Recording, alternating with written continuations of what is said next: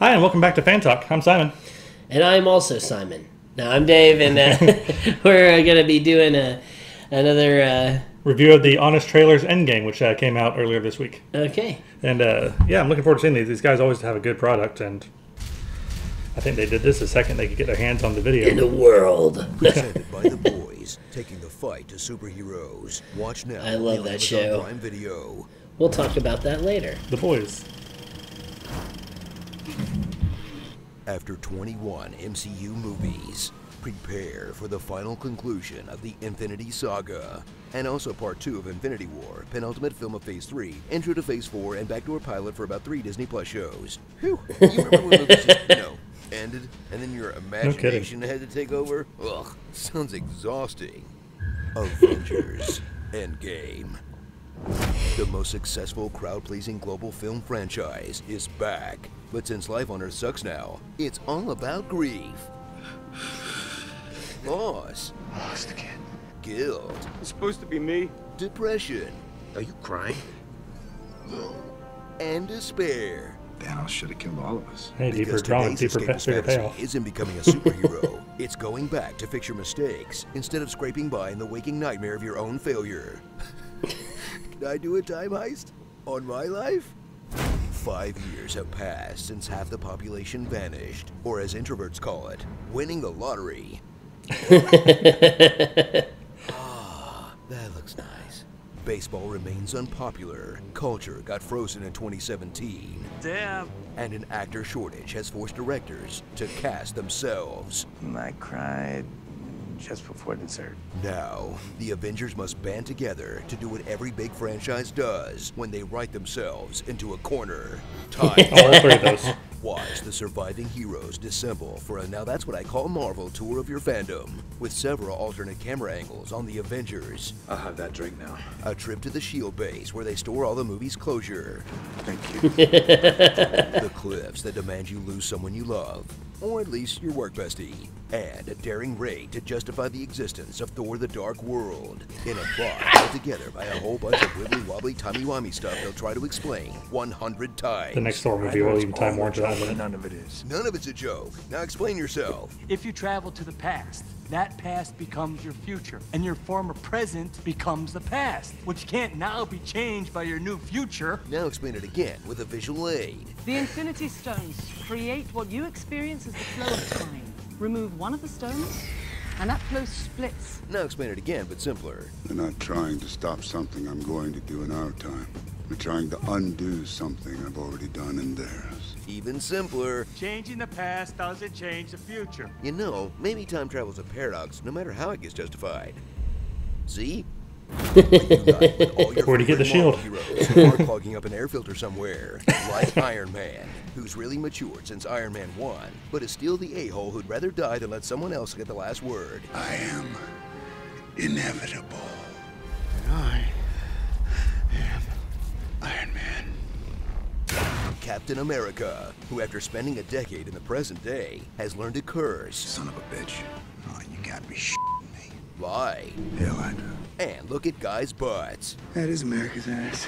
Thor, who it's okay to make fat jokes about because he's Lasky. also suffering from a very realistic post-traumatic stress disorder. What do you think is coursing through my veins right now? Cheez Whiz. Cheez Whiz. He's struggling. The Hulk will cut down on the runtime by finishing his arc before the movie starts. I know, it's crazy. Hawkeye, who deals with the loss of his family by having a very cyberpunk midlife crisis. Ant-Man, who thanks to the internet's brain poisoning is a letdown every time he's not inside Thanos' ass. Flick me. Black Widow, who finally gets a primary storyline in one of these movies, killing herself to motivate the boys. We have to make it worth it. At least you can tell the passage of time by her hair. That's something. Rhodey, hoping and praying they don't travel back before Iron Man 2. Nebula, who ruins the Avengers' plan so many times, the most helpful thing she does is kill Nebula. True. And Captain Marvel, who's so powerful, the movie desperately finds excuses to leave her out The things that are happening on Earth are happening everywhere. So you might not see me for a long time. until it comes up with an excuse to bring her in.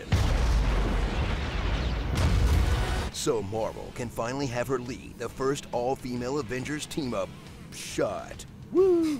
Maybe Marvel will let them team up together in a sequel? Ugh. Okay, maybe they can all pose again in the background of the Loki show. Remember Thanos, the MCU's most complex and motivated villain yet. He did. and taking his place is old Thanos. Uh, new old Thanos. Younger old Thanos? You know, the version who sits and lets everyone else do all the work. Find the stones. What will you do? Wait. Wait. Who steals his evil plans from Spaceballs. Reduced to atoms. You used them two days ago. What the hell am I looking at? When does this happen in the movie? Now. What did you do to them? Nothing. Yet. Go back to then. When? Now. Now? Now. I can't. Why? We missed it. When? Just now.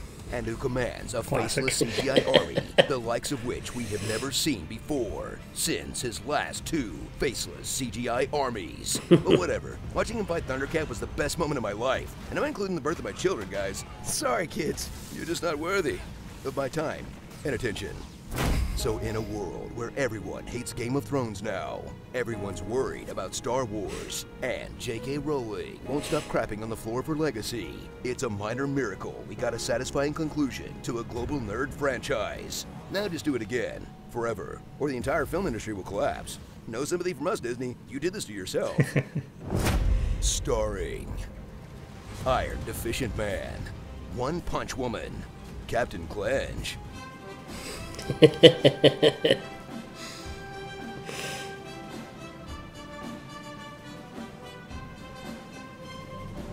and Hardly Wait. I am Roots. Bojack Norseman. Jeremy Renner's one big line of acting. Go grab your hammer, and you go fly and you talk to him.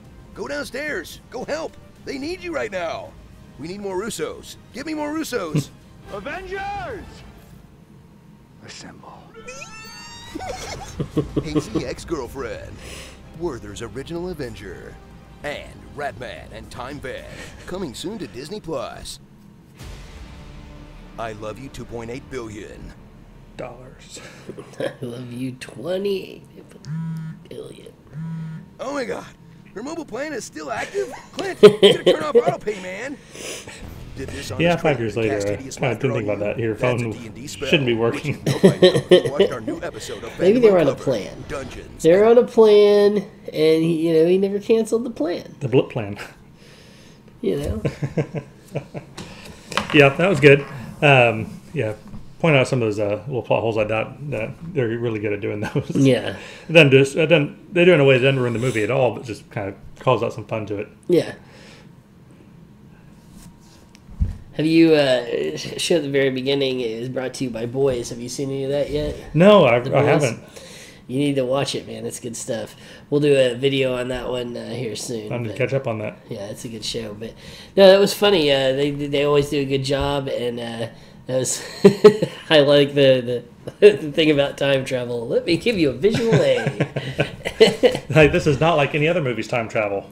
and then they list off like you know all the other movies like Back to the Future and the others, and I think one of them even says Die Hard. Wait, that's not one. That's not one yet. Not yet. Bruce Willis might go back in time at some point. Well, he has, just not in Die Hard. Okay, the, the monkeys one, yeah. Yeah. Um, the monkeys one. Twelve monkeys. um, actually, have you seen the uh, trailers yet for that new Will Smith movie where he uh, battles against younger Will Gemini Smith? man. Yeah, Yes, that looks fantastic. It I'm does. excited. and I would have been nervous about that before this year with um, the Uncanny Valley and uh, CGI, but Al- Alita and uh, Samuel Jackson have uh, given me uh, courage. Oh yeah. That, That that will be Alita well. movie is now apparent to me that we don't need actors. we just create them. Just need motion cap. Yeah, motion capture and voice actors. I went back and actually watched that again the other day since it came out on DVD, and um, God, I hope they do get around to making some kind of sequel or follow up because it really just kind of ends on a not exactly cliffhanger, but it's like oh, all this like obviously the third plot's all resolved, but then like there's more Yeah. credits. Yeah. Well, I mean, we'll see what happens. Cameron's getting his uh, the rest of his series, and uh, if he you know wants it, maybe he'll work something with the studio. Uh, as far as the budget of the money versus how much it made, it's kind of on the fence of whether or not they do a sequel or not. But uh, he tends to kind of get what he wants in Hollywood, so we'll see. Yeah, uh, they might want to sweeten the deal if he's going to be making the next 17 Avatar movies. Actually, I think they're what filming the three of them back to back Yeah, it's it's gonna be like Star Wars. They film it all together and then they break it all apart. chop it up. Yeah, And, yeah, uh, yeah, more unobtainium for Pandora. yeah. There you go. Well, thanks for uh, watching with us, guys. Uh, please remember to like and subscribe, and we'll see you next time.